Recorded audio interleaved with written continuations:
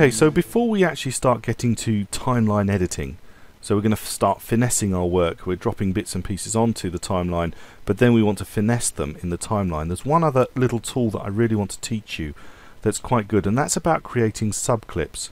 Now you can edit subclips and you can do quite a lot with subclips, but the idea behind it is this. It's particularly important if, say, you've got a long interview and you've gone through the interview and you want to select just little bits of the very long media file that you've got. So what we can do is we can select individual bits and we can create subclips for them, name them, and then you know exactly what you've got in your project panel ready to use when you want to use them. Now I'm just going to show you by pulling out this one wave that we've got in this long clip. So I'm going to select my panel and I'm going to do Control Shift Spacebar to play through this clip and you can see that's the wave that I want so it's my sideways wave so if I want the sideways wave as a subclip I've got it in my source panel I can just either go to clip and I can choose make subclip or alternatively I can right click on it and make subclip.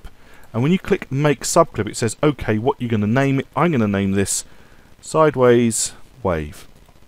And click OK and then sideways wave is then added to my project panel. And if I was to pull that out onto my timeline, you can see that this item is just the length of the wave. Going to come in and just play the wave and stop. And that's the actual file. Nothing more than that actual file. So I can double click to open it in my source monitor. So I've double clicked it and it's opened up in my source monitor and you'll see that it just consists, the whole of the clip is just that one bit. I've taken it out of the bigger one and I've created a smaller clip. But even so, you can still take a clip and you can right click on it and you can go to edit subclip and then you can start to play around with editing the subclip. So if I wanted to make it longer, I can see what the start and end time was on the original tape and its total duration. And I can see its start time and its end time. And I can actually take that out and I can click OK. And now you'll see that the subclip is now significantly longer. Takes a moment to catch up. So you see I've added bits in by going to edit subclip. So even though you've created a subclip, don't think that it's stuck and you can't change it. You can by taking the, the clip, right clicking on it and going to edit subclip and then if you want to make it longer or you want its start point or its end point to change, you can actually do that and still make sure that you've got everything that you want.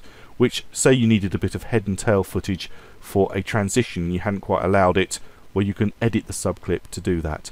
Subclips are a really useful tool, particularly when you're working with long bits of narration and you want to just pull out the bits that you want and give them sensible titles so that you know when to drop them in to your project.